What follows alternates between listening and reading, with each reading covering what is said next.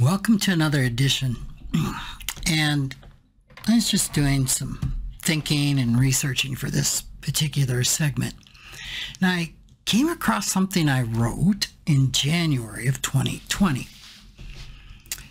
And I entitled it I Wonder. And I think I wrote this um, at the, um, uh, oh, I'm going to say urging, but it wasn't quite that significant of a peer that asked me, What do you wonder about these days? And I think I may have been on uh, a vacation when I wrote this, because in, in January of 20, was right before we knew of this thing called a pandemic.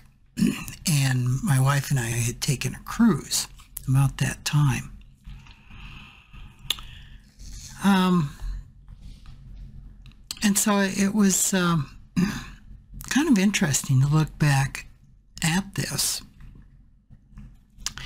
And the first thing that I was wondering about was um, starting to do training in, in IFS. And I, at that time, I'd been doing IS, IFS therapy for about three years, and I was I had already signed up for the formal level one training. And I wrote uh, just like I got the formal training in Enneagram, which I still haven't talked a, a lot about in the podcast. Um, it's nine personality or nine character structures. And maybe maybe someday I'll do a series on that. Um, and I got, I think I went to like eight different trainings on the Enneagram and used it for my own personal development. And I said, I'll probably use the IFS training for my own development, which was curious. And at that time, I I put, I wonder if IFS has a place in the financial therapist toolbox. And my first training was in February of 2020 in London. And then, of course, the pandemic hit after that and it closed down, and we finished the training on, uh, on Zoom.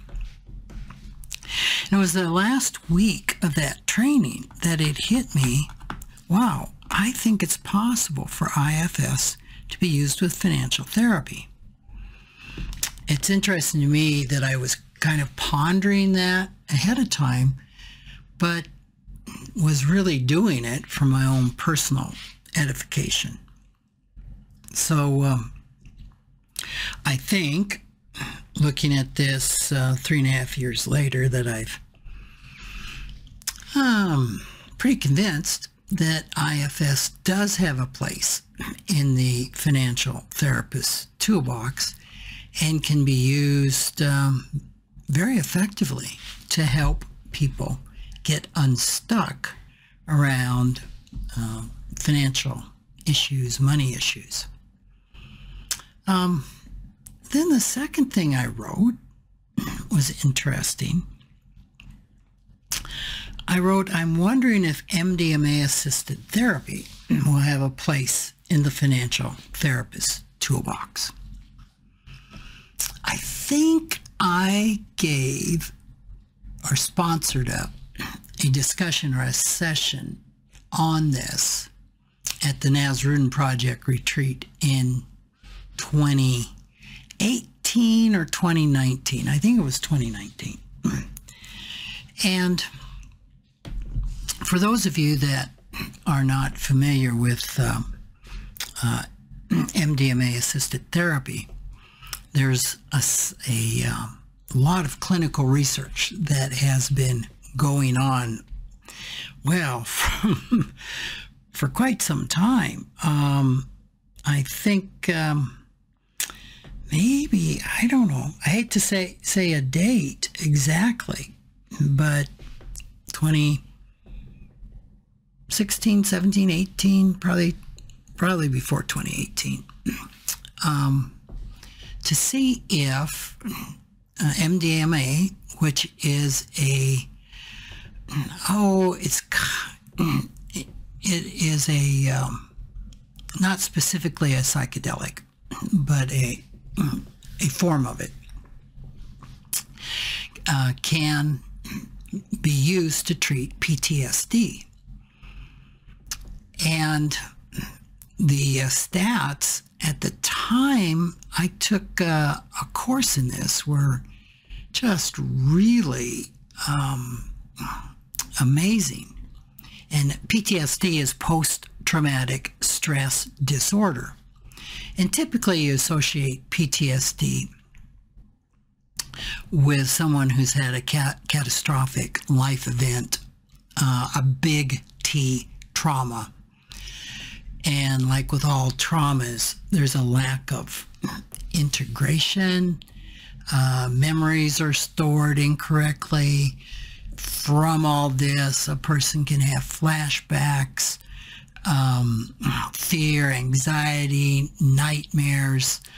Uh, that's all the the uh, vulnerable parts that were super wounded uh, that are active or activated, and uh, the exiles in IFS speak, and then the firefighters stop in to try step in to try and calm all that with uh, drug misuse, alcohol, self-harm, even suicide. So it can, it's a pretty big thing. Um, somewhere between uh, 6 and 10% of people that have had PTSD have it for a lifetime. And so it can be really disabling. Um, and mixed in with this, PTSD can be something called complex trauma, which isn't a big T trauma, but it's a little T trauma that happens over and over and over and over. So uh, this particular study really focused soldiers coming back, uh, especially from Iraq and Afghanistan, uh, where they found like just about 5% of British soldiers had PTSD, and it ran as high as 18% in U.S. soldiers. So they experimented with this MDMA is the, I don't know if it's the clinical form, it's the official form of uh, a street drug called ec- ecstasy, but it's very pure and very clinically controlled. And it is used in conjunction with therapy, psychotherapy. That's a, that's a real important connection um, it's it's not something that somebody does by themselves. It's definitely not done for recreation, um, but it is is done to help somebody um, gain insight and objectivity on the, the trauma and help to process the trauma. And the stats at the time that I, I got these, which I think was in 20, 2017 maybe, um, of 100% of the people that qualified for a PTSD diagnosis, um, somewhere around, they, they did uh, talk therapy, and then they did the uh, MDMA assisted psychotherapy. And I, I think that uh, consisted of several sessions, therapy sessions prior to doing the MDMA session. Um, the MDMA session, I think, typically lasted like six, eight hours, would have two therapists present, and then it would have follow up therapy after that session. And I think it involved a second session, which again, two therapists worked with, and then follow up after that in integration. Um, and then they did just uh, standard talk therapy, one on one talk therapy. And what they found is of these uh, people that had a, a, a diagnosis of PTSD.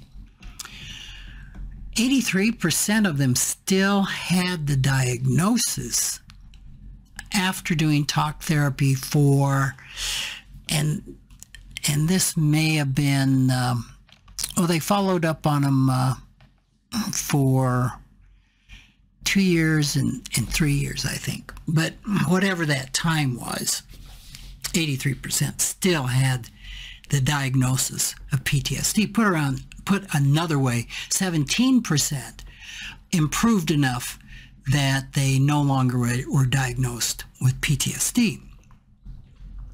However, with those that went through the MDMA assisted psychotherapy, only I think it was about 24% had the diagnosis of PTSD. Put another way, uh, 76% actually could no longer be diagnosed. Now that's phenomenal.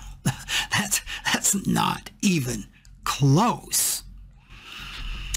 And eventually this is going to lead to MDMA uh, being available under prescription. They thought it would have happened by now back when I took uh, this particular workshop, but um, it uh, it hasn't happened as of of yet. Um, and I I was wondering, would that be a tool in the toolbox of people that are really suffering from um, being stuck around uh, a, a, severe money issue. Uh, for example, overspending, uh, gambling could be one. Uh, I suppose even underspending to the fact that it uh, puts you puts you and maybe your family at risk of um, not having the house up to oh, real habitable standards, safety issues, uh, nutrition issues, things like that. Uh, and the reason I was wondering about it is, and I, I wrote this before I was starting to do IFS uh, therapy uh, with financial therapy clients. Uh, heretofore, I had noticed that really financial therapy seemed to move pretty slowly, especially the more traumatized uh, that a person was, the more uh, wounding that they had, uh, the slower the progress was in financial therapy. And here's the deal is with financial therapy, the longer it takes a person to get well of sorts, the more expensive it is, right? Uh, if I am overspending and I continue this overspending, um, the the sooner that I could get that uh, spending modified, um, the less expensive it's going to be. So if there are tools that can speed up the financial therapy process, this would be of great interest to both the financial therapist and the financial therapist client. So that was just something I was wondering about. And I'm still wondering about that. Um, I could I could go into go a lot of different directions with this. And I know the first time I ever heard of this, I was like, oh, that's not good. Drugs are not good. Especially drugs that, quote, mess with your mind, end quote. And as I really started looking at the evidence and the research behind this, um, psychedelics used in this way are extremely successful and have less side effects than some of the, the, the drugs I use just uh, for everyday uh, issues of uh, aging. so I kind of had to get over that because in my youth I always associated uh, these types of drugs as being recreational and and highly dangerous. Well, it's what people did on them, un, unsupervised, so to speak, that was really dangerous.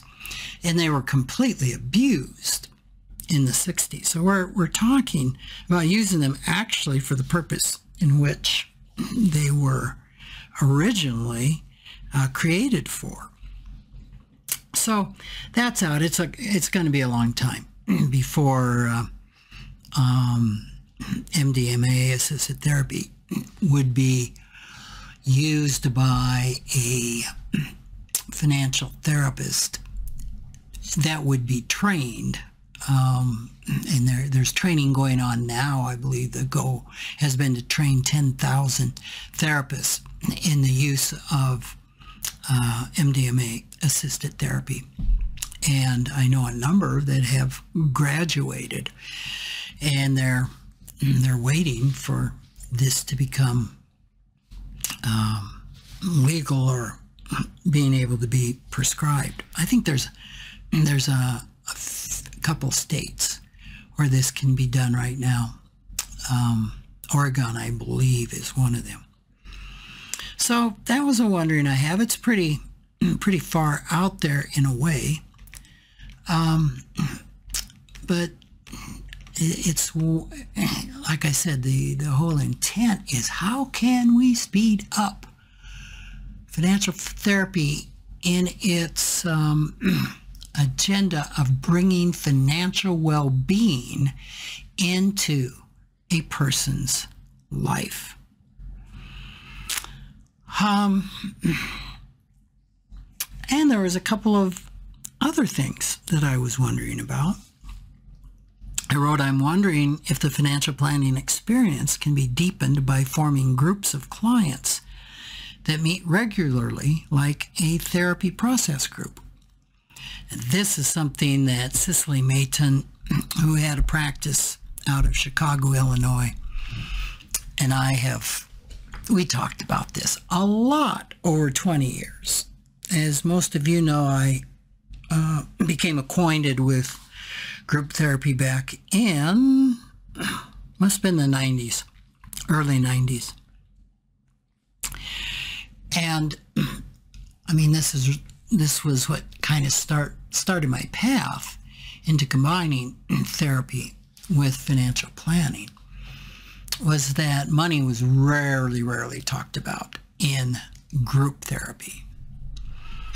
So I um, I and I helped start the first financial therapy workshop with Ted Klontz in 2004 or 5, I think, is when we started designing that. Uh, and we found, yeah, you can do, definitely can do therapy around money, and you can do therapy in a group. And my own personal experience with group therapy was that I progressed, I progressed faster in a group. Uh, I seemed to learn more in a group than one-on-one talk therapy.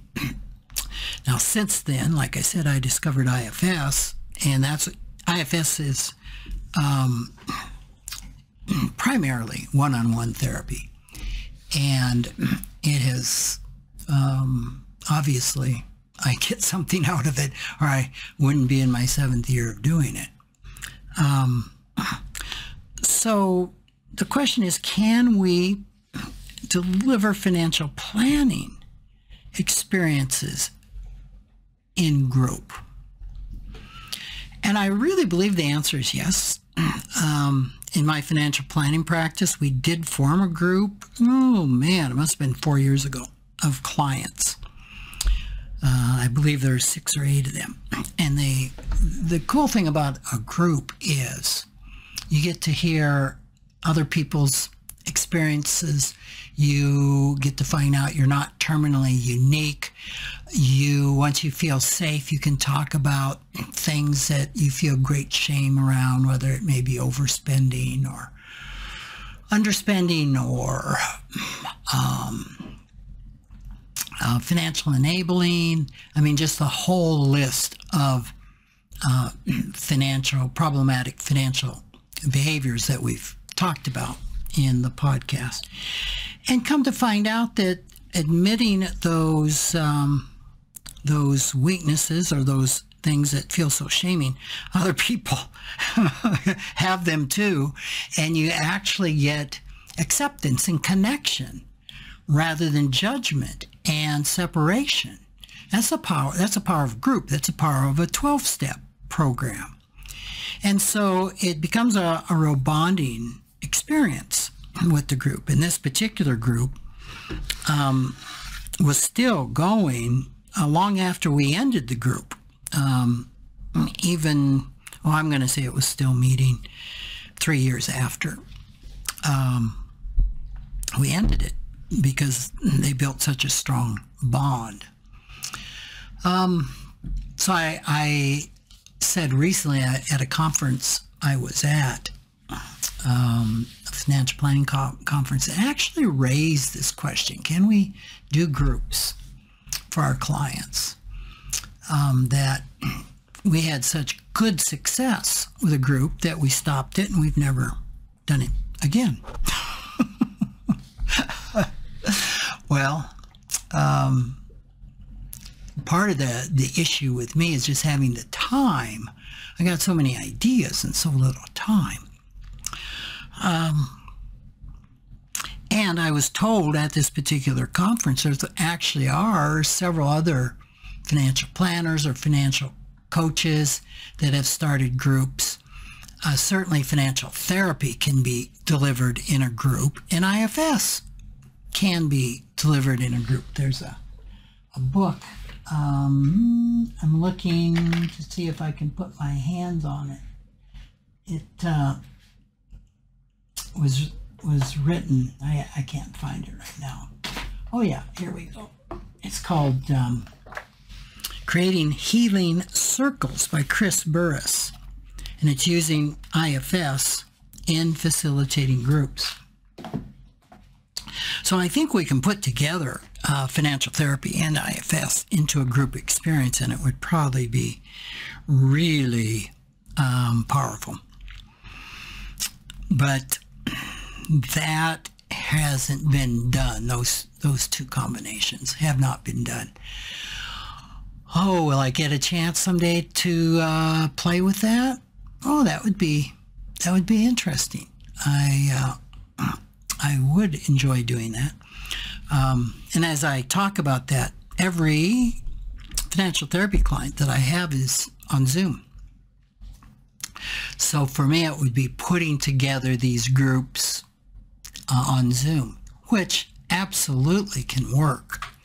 Not as effective as in person, but still, I'm sure that they would be very effective. But I am still wondering uh, about that and about applying um, applying that, applying financial therapy and IFS in the group setting.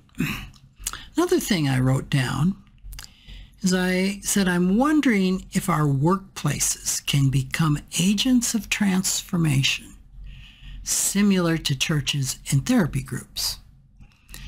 When we think of transforming, really changing, um, and, and uh, opening uh, emotional well-being in our lives, many will expand emotional well-being or say it's a, a subset of spiritual well-being.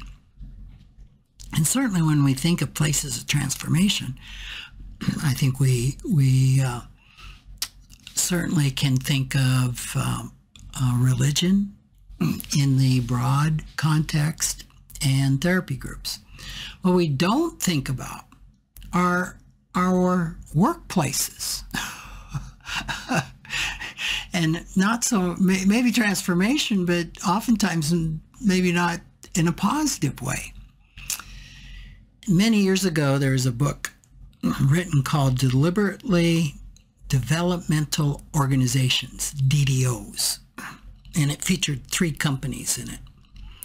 And on my website, on Kahler Financial Group, I have a page uh, devoted to DDO. And we like to, to think of ourselves as, as a form or some type or taking a stab at being a deliberately developmental organization. I don't know that we've done a great job at it. But um, we do try to embrace some concepts that are unusual in the workplace, which would be like don't leave your personal life at your door.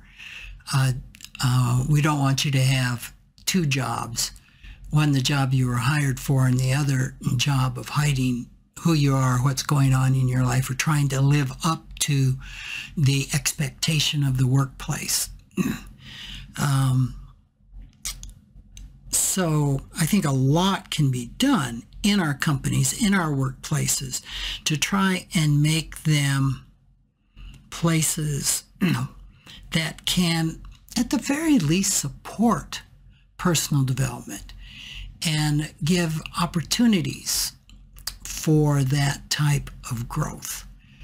Uh, it can only benefit the company and I think can be used pretty powerfully. Um, it when you talk about it directly, it doesn't seem to be you know based on the bottom line profit. But anytime you can help people grow and help people uh, uh, attain um, a greater degree of well-being, it's got to benefit everybody: the the company, the customers, the clients, and the workforce. So, uh, some other, as I close up here, uh, things I was wondering about is I said, I wonder what it would take to attract a financial planner to Rapid City. uh, I, I could say that now finally, after 12 years of a, of a drought, finally we had a financial planner actually move to Rapid. We've been, we, we went virtual largely in, in 2019. Um, I was also wrote down, I wonder if I should start a financial therapy podcast. and uh, it wasn't, what, uh, uh, 21, 22, 23. It wasn't till a year and a half later that I wrote this, that I actually started the podcast. So, well, that is the uh, some of my wonderings, but I, I thought a lot of that was very, very pertinent to what we talk about week in and week out. So I thought that I would share that with you. So thanks again for your attention. I run into so many of you as I'm starting to travel the country and go to retreats and do speaking that that listen to the podcast. And so I do really appreciate your interest and your uh, attention. And please reach out to me with any questions or comments you have at rick at rickkahler.com. So thanks uh, again, and I'll look at talking with you next week.